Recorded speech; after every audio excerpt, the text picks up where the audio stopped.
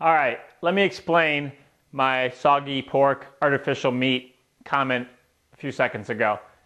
Scientists have actually grown artificial meat in a laboratory for the first time, and they described it as soggy pork.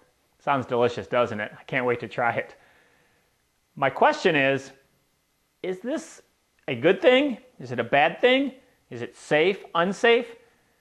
I mean, I can understand that if they can grow artificial meat produce it in large quantities, we could probably solve the world hunger problem. You know, regions of the world would not have to starve. But are there side effects? We know a lot of things artificial can lead to problems later in life.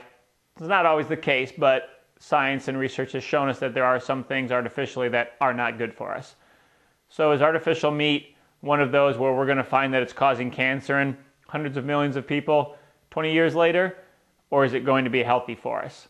What do you think? Is this a good idea or a bad idea for scientists and researchers to be trying to grow artificial meat in a laboratory? Let me hear your thoughts. Leave your comments right here on the blog. I'd love to know what your opinion is on this because I'm kind of on the fence here. I'm not quite sure which side to go on in regards to solving world hunger or causing worldly disease and increases in a new cancer that we've never even heard of. So I'd like to hear from you. Leave your thoughts right here on the blog.